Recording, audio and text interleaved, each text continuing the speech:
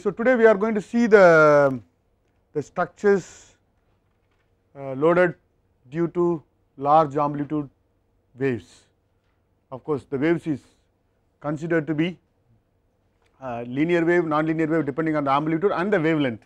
Now, in this particular case basically we have a structure which is slightly bigger in size. So, what really happens is the first assumption made by Morison earlier I think we were thinking about um, the disturbance is too small can be ignored that is why Morison formula was applicable and then there was correction factors. Now, in some cases in you know you may have the size of the structure is bigger typically in the order of 20 percent or higher than the wavelength. So, that means the d by L ratio what you see here is greater than 20 percent of the, the wavelength. You may see that the presence of the structure alters the water particle velocity and acceleration. I think you can easily uh, visualize if you make a structure and you go to our wave flume or to a river, you just place it in the middle of the flow condition, you could see that the, the, the flow kinematics get modified. So, what really happens? If there is a complete obstruction, for example, you construct a dam across a river, what will happen? The velocity goes and just get obstructed and then probably retarded, reflected. If there is a dynamic condition, waves come and reach the solid wall, gets reflected. So, things get modified that is what you need to understand that means the velocity or the acceleration gets added or reduced. So, in this particular case if the dimension of the structure is so large that it modify the velocity and acceleration, you could not or you will not be able to use the wave theory that we have derived so far. You have linear wave theory, you have Stokes wave theory and so many wave theories you have derived mathematically describing the flow within the domain with the boundary condition at the seabed and the sides on the surface. Everything is nice. Unfortunately, the obstruction within the domain is so large that we can't anymore apply the assumption of the structure is invisible to the wave because that is what the assumption we made earlier because all the jacket tubulars are so small compared to the wavelength. Still error exists. You may not actually at this stage you may not actually agree that that assumption is right. You may have it in your mind back of your mind thinking that I have such a big jacket structure, but still we have assumed that the structure is not being influencing the the whole uh, water particle kinematics and acceleration, but there will be error, but that error is so small that we could possibly accept it to, to, to reduce the laborious work that we require to do the design. That is why historically we have taken a stand that we will take that small error acceptable as long as the calculation method is so simplified that we can do with Morison equation. Whereas, when you come to a structure of this kind very large and if you still assume the same idea for example, if it is too big, but the error induced is so large that there is no meaning in doing the calculation based on the Morison formula because the difference could be as much as 50 percent. In such a case it will not be possible to accept. So, that is the situation where when the structure is so large that we would like to look for a alternative solution and that solution is basically a problem associated with going back to the basics. You know we, we did uh, define the, uh, the basic uh, flow equations when we started the class on 2, 2 or 3 sessions back. We were looking at the Laplace equation and then the boundary condition at the surface, boundary condition on the sides and boundary condition at the seabed and also right now what we are going to introduce is a boundary condition along the periphery of the, the structure or a body which is submerged which can be submerged or it need not be always submerged you may have a surface bearing structures like uh, ships or uh, other floating bodies. So, you can have so what is the additional boundary condition we are going to apply is only one on the structure basically the surface of the structure will not absorb any fluid that means there is no flow across the structure within this domain. So, basically the same boundary condition what you have applied earlier on the seabed there you assumed as no flow condition perpendicular to the seabed.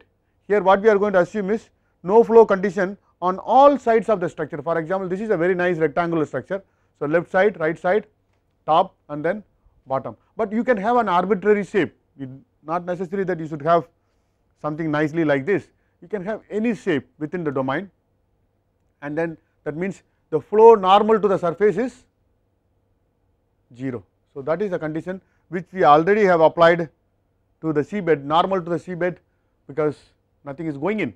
Whereas the tangential to the seabed the flow is going because along the seabed bottom some flow will be allowed. So, that is why we always have to have normal to the solid body there is no flow going inside and nothing coming outside from a.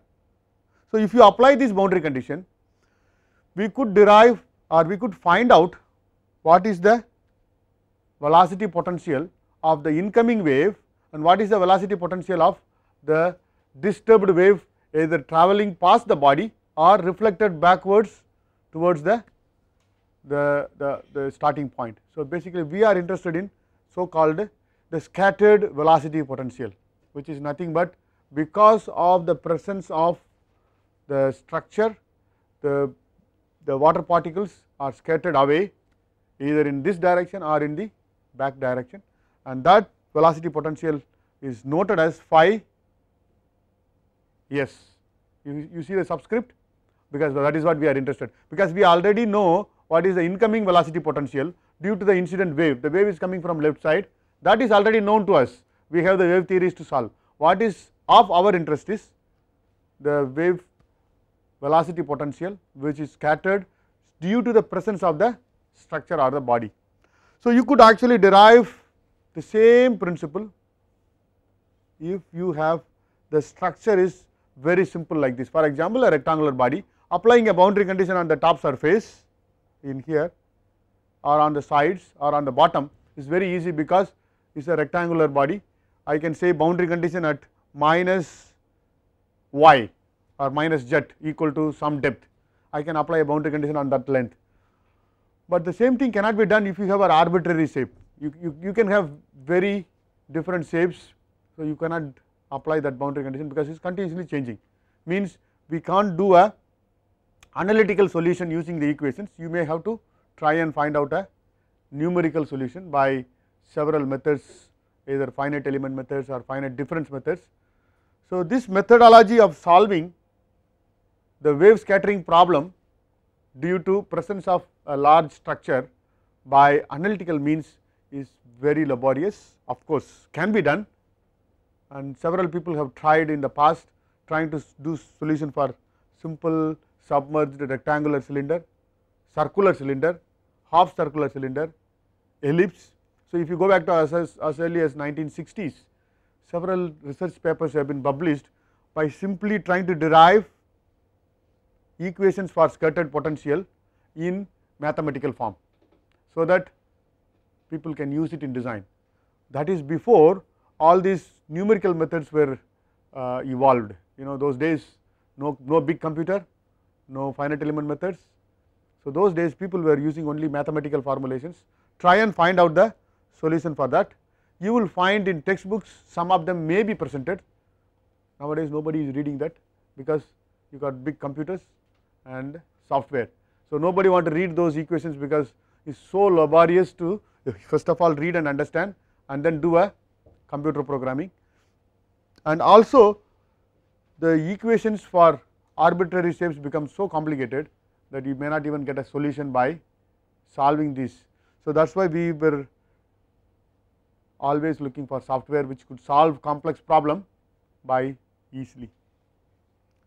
So, this is the incident velocity potential which we have already only thing is you see the difference instead of writing down in terms of uh, uh, cosine or sine function I have just expressed in terms of exponential function which is easy to do uh, integration and differentiation later on because you will see multiple integrals. So, basically I do not know whether you will be covering uh, in hydrodynamics course this, this derivation is very lengthy. So, the boundary conditions what we saw earlier for uh, without the structure inside the domain is exactly the same this is a free surface boundary condition which we are applying instead of the undulated surfaces we are applying at the y is equal to 0 that means we assume the amplitude of wave. So, this again linear diffraction. Whatever we are trying to do using Airy's wave theory do a diffraction analysis or scattering analysis. This is a kinematic boundary condition. And then the body boundary condition basically is the same as what we applied as the seabed boundary condition. You know no flow across. And then basically if, if there is a body across the wave it could come and get reflected 100 percent if there is a solid boundary. If it is basically a porous boundary some amount of flow can go. So, that is basically defined here, but of for sure there is no flow across the seabed which is 0 and this is a radiation boundary condition at the two extreme ends that means we have absorbing beaches. For example, you go to our wave flume we have a small beach at the end that means the waves coming scattered by the presence of body reflects back, but the sum of the wave will reach across the body and go to the other side does not come back from the beach because if that comes it will increase the reflected wave which is not our interest. Our interest is to see the, the reflection from only the structure that is to be accounted. So, these are four boundary conditions.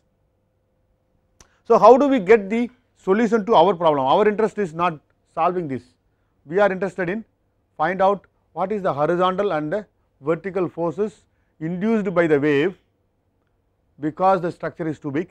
So, very simple what we require is velocity potential of incident wave which is already known, velocity potential of the scattered wave or reflected wave which is possible to calculate.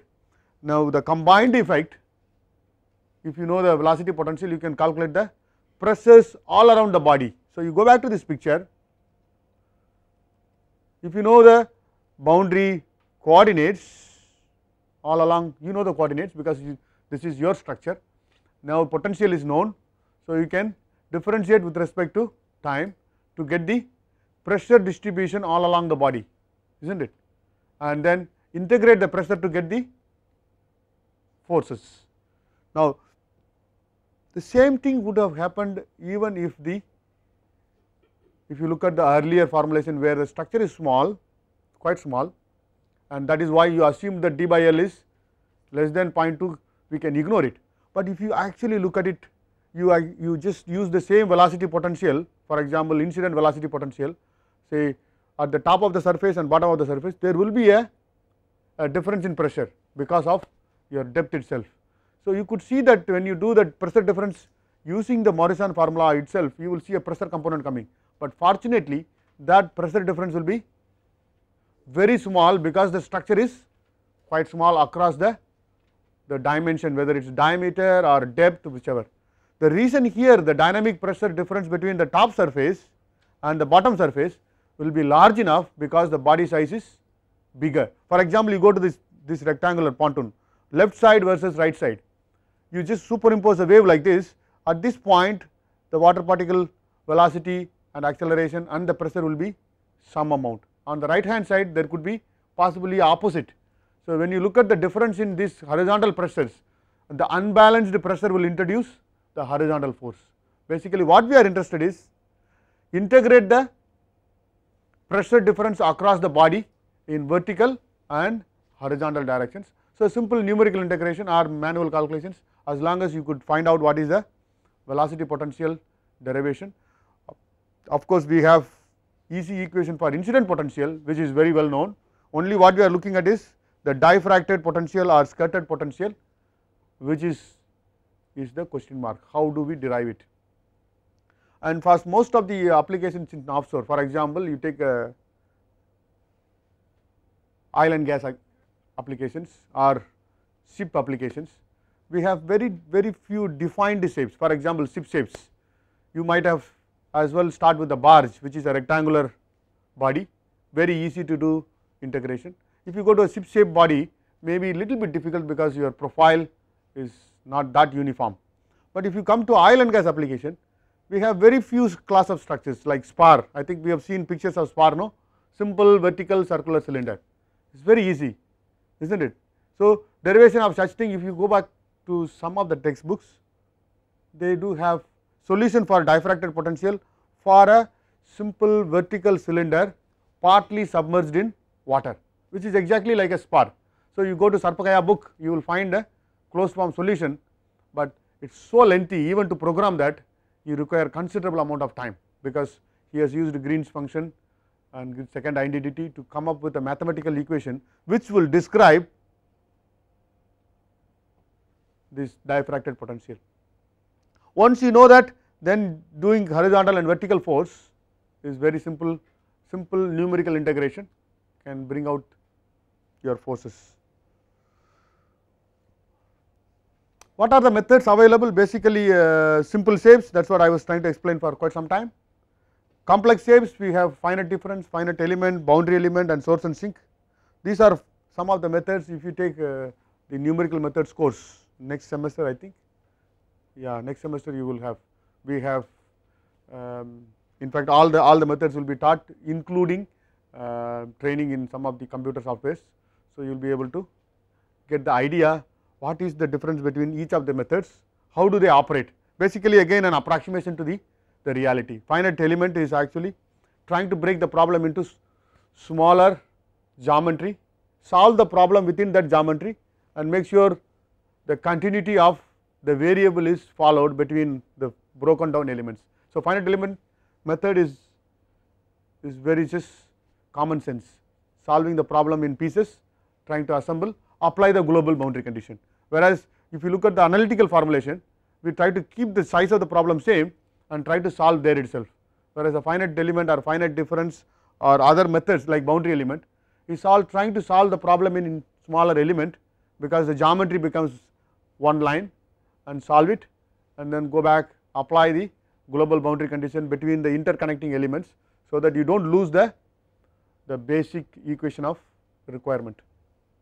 So, these methods is not new today they have found their place in uh, engineering mechanics probably like 50 years back, but only application to various types of problem has been growing and growing and in the recent times like last 25 to 30 years lots and lots of research has gone into application of FEM to hydrodynamic problem and basically you will find lot of software. So, we got quite a number of softwares uh, which offer solution to the uh, this fluid structure interaction problem.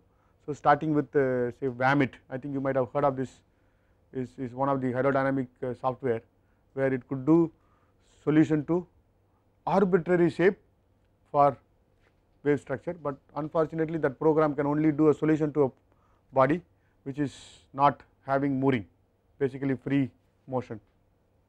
There are other software now um, you know basically like uh, ANSYS have come up with the AQWA software where you can solve bar body free floating as well as moored system.